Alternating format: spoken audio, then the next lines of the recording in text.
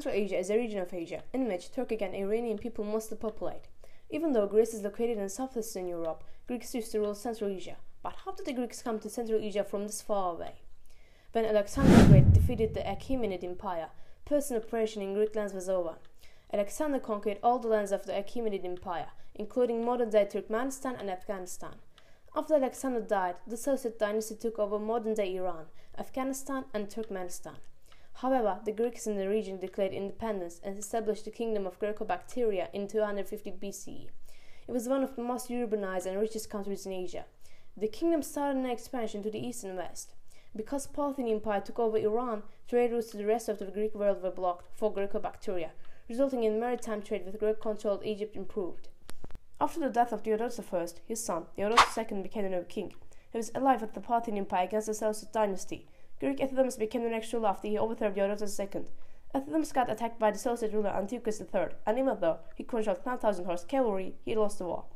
After the Seleucid troops left Greco-Bactria, son of Euthydemus, Demetrius became the next ruler of the kingdom. Kingdom expanded into northeast Persia. After the Maurya Empire got overthrown by Shunga dynasty, Greco-Bactria started an expansion into India in 180 BC. Demetrius and Menander I invaded the area from northeastern India to Pataliputra, but the natives managed to push them out of Pataliputra and its surroundings. Still, a huge portion of India was invaded. A general of Demetrius, Eucratides, overthrew the dynasty of Euthydemus and became the next ruler of the kingdom, but he was defeated by Menandros I, king of Greek India. Right after his defeat, the Parthians attacked the Greco-Bactria and defeated them, causing the Greeks to give up a significant portion of their land. The Scythian Empire defeated and invaded both the Parthian Empire and the Greco-Bactrian kingdom. In 120 BC, the Yuezhi people invaded southern Bactria. Some other kingdoms existed in the region until the 10th century, but they were not that effective. This was the end of the Greeks in Central Asia. However, this is not the end of their culture. Greeks introduced new architectural styles to the Indians. They built new cities in the region. They also affected the religion in India by introducing sculpture into them.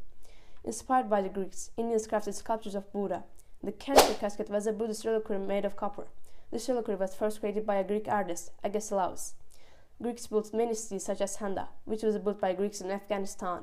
Greek mythology affected India, China, and Japan. Greeks even created a type of Buddhism themselves, Mahayana Buddhism, which didn't become that effective in India itself, but in China, Vietnam, Korea, and Japan. A few Greek words were adopted in the Sanskrit language. For example, ink, pen, book, bright, Santa, siege mining, syringe, barbarian, shell, and the floor. The Greek lunar calendar was used in northwestern India for a long time. The Greek standard of the weight of silver coins was adopted by the Indian kingdom of Kuninda in Punjab. As you can see, the Greeks affected the region for a millennium, creating religions, alphabets, and architectural styles in the region. Without the Greek history, we won't be able to understand the history of Central Asia, India, and the Far East. Stay tuned for new content. It was Absolute Times.